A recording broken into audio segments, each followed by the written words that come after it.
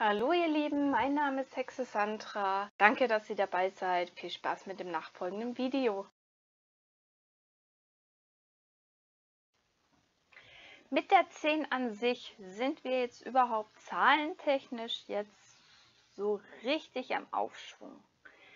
Die Kreuz 10 steht für Reisen, für die Ferne, für die Weite, Distanz, ja, Urlaub oder Umzug, äh, ist auch Bewegung im wirklichen Sinne eben Urlaub, Umzug, ja, auch äh, berufliche Fahrten, ähm, aber wichtige Fahrten, ja, entscheidende Fahrten zu irgendeinem Termin, der wiederum dann entscheidend ist. Ne? Distanzkarte, Ferne überwinden, ähm, die Ferne, eben das Ausland, ähm, anderer Kontinent, ja, anderer Planet sozusagen ähm, weit weg. Ja? Dann beim Herz. Große Freude, großes Glück. Ja, die Dinge werden wieder rund, die kriegen eine Vollendung, sozusagen. Ja, ähm, ist auch die Karte der vielen Herzen, 10. Ne? Ähm, ist auch eine Gemeinschafts- Karte, ja, kann Verein sein, äh, Schulklasse, Lerngruppe, was auch immer, ja. Da, wo viele zusammenkommen, das ist wichtig, ob es jetzt eben Freunde sind, Kollegen oder so, ne, einfach Gruppen, Gemeinschaften, aber auch Wunscherfüllung, ja, auch großes Glück, ähm, Herzensangelegenheiten, die in Erfüllung gehen, ja. Hier ist alles. Dann Peak 10 umfasst hier einen Zeitraum bis zu einem Jahr.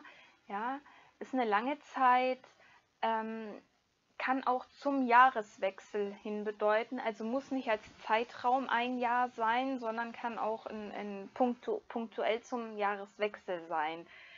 Ähm, denke ich, kommt auch noch drauf an, wann schlussendlich äh, gelegt wurde, wenn es jetzt ein Tag vor Jahreswechsel ist eher dann der nächste, ne? weil wir ja bis zu einem Jahr haben. Das heißt, erst in einem Jahr und das ist dann der nächste. Ne? So kurzfristig eher nicht gesehen zum Jahreswechsel. Ja? Ähm, es ist hier nicht der Zeitraum an sich, der überwunden werden muss, sondern er ist halt da. Ne? Das Jahreswechsel eben, wie ich gerade erklärt habe. Ne? Also es ist anders wie bei der Kreuz 10. Ne? Da haben wir die Distanz, die Weite, die, die Länge, die Ferne. Ne? Dann die Karo 10.